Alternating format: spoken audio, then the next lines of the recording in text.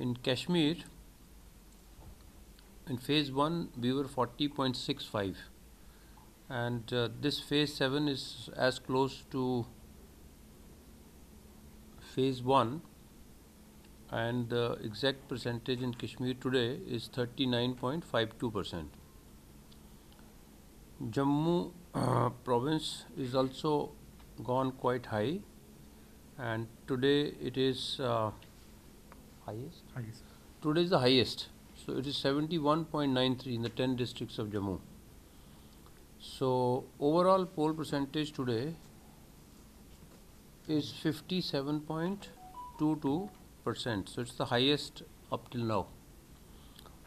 आज की district development council जो 31 कॉन्स्टिट्यूंसी की इलेक्शन हुई है उसमें 13 कश्मीर की थी और 18 जम्मू की थी पोलिंग जो रही है, सात फ़ेज़ में, आज के सेवन्थ फ़ेज़ में मैक्सिमम रही है, सबसे ज़्यादा।